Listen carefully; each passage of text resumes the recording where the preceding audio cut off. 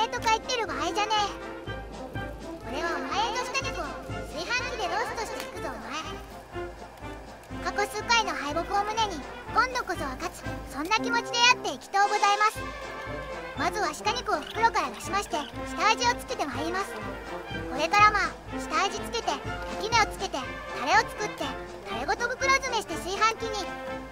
そんな流れでねやっていきとうございます。フライパンによる焼き一発で決めるという。お前知ってた今回の料理見とけよ見とけよ。塩胡椒ニンニクをすり込んでしばらく休ませる。こういうのは分量とか気にせずすり込めばいいんだぞ。ラップをしてるのもなんとなくだ。俺たちは雰囲気で料理をやっている。それじゃあ焼き目をつけていくぞ。何が焼き目だ。どうせ俺は一発で焼きを決めることはできねえんだ。れやでもよそんな負け犬だって少しぐらい夢見てもいい。そうだろ焼き目をつけたフライパンで漬け汁ソーサネ肉に浸透させる塩を作るよ。醤油みりん酒いつもの通りさ特別なことなんてない。特別なことなんてね特別な日クリスマス。だからこそ慎重になんなきゃいけねえ。申し遅れましたがこのエゾシカ肉調理は2022年のクリスマスイブに執り行っております。失敗するわけにはいかねえ。せっかくのせいやを血まみれにしちゃいけねえんだ。焼き目をつけた肉を袋に詰めて漬け汁と一緒に封入していくぞ。やっぱりねボウルに溜めた水でね空気をねこの辺は先人の知恵を使っていくのがいいんだぞ。急いで口で吸え。なんてね。令和の時代に流行らないんですよ。指差し確認して熱湯を入れた炊飯器に入れてやったぞ。保温にして1時間程度放っておくのだ。肉ばっかりで喉が詰まっちまう。ということでポテトキューレを作るぞ。薄切りにしたじゃがいもを煮て熱を通すぞ。こうむるぐらいの水を入れて火にかけて。熱が通ったら水分を飛ばしながら崩していくぞ。なんかまあゆるすぎない程度で崩せればいいのかな。水分が飛んだら熱いうちにバターと混ぜよう。と思ったけど残念ながらマーガリンしかねネタバレするとマーガリンでも全然平気でした。牛乳塩コショウを入れて混ぜていこう。手で混ぜるのってなんかこう疲れるよね。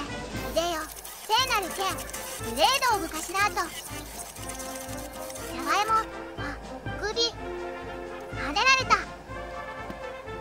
味や柔らかさについては好みなので適宜牛乳を足したりすればよいと思います。箸の後は洗う時刃の部分がちと怖い。皆様にあられましてもお気をつけください。バジル振りかけて完成。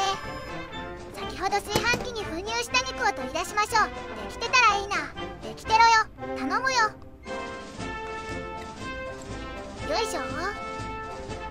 そんじゃつけてた汁を煮詰めて食べる時のソースにするぞ。ほらほらいつまでもぬくぬくつけ汁に使ってんじゃねえ。吐き出せ。その肉汁が混じった。汁つけ汁全量をソースに煮詰めても多すぎるので今回はいくらか捨ててます。そりゃそうだ。漬け汁バルサミコ酢砂糖胡椒ちょっと煮詰めてはい完成。やったぜ。どうして同側に戻す必要があるんですか？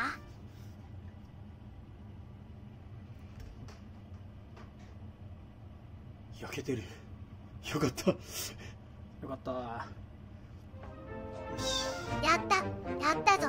ついにやったんだ。おまれ。犬にでも食わせとけ。あよかった。もうね。あのフライパン焼き一発とか。いいわ。いらん。やっぱね肉ってのはねちゃんとね火が通る。そういうのをね大事にしたいなって。豚はもちろん牛もね鶏もえ言わんやエゾシカオやですよ。これは本当にともあれやっぱ列島密閉保温が一番強えわ厚みのある肉はこれですね。なんかあの低温調理器ってんでしょうか。ああいうのはやってはみたいけど置く場所がない。今宵はクリスマスディナーじゃい。ということでチーズ切ったりするぞ。硬い包装の上で切るの行儀悪いけど洗い物少なくなるから。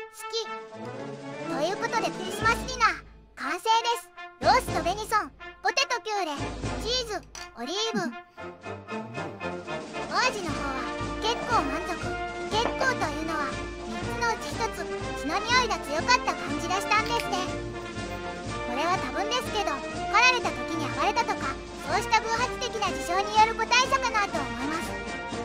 赤ワインはワールドカップいうことでアルゼンチンのワインをいただいております。面白かった。多少血のような味がしても赤ワインが何とかしてくれる。そういうのがこう知らんけど先人の知恵なんやな。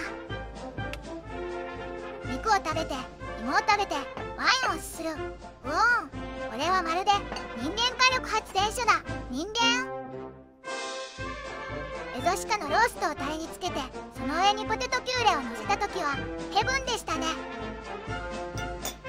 連続焼けちゃいねえの呪縛を完全に解いたとは言えませんが何にせよ焼けててよかったですやり遂げた後のインスタント宇宙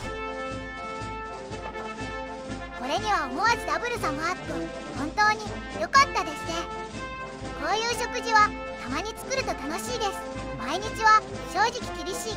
だからこそたまに楽しむ皆様にあられましても比較的成功しやすい炊飯器調理やってみてはいかがでしょうか？動画にコメントなどいただけてとても嬉しいです。今年も作っていきますんで見てやってください。それではご視聴ありがとうございました。See you! 各種登録してくれよな。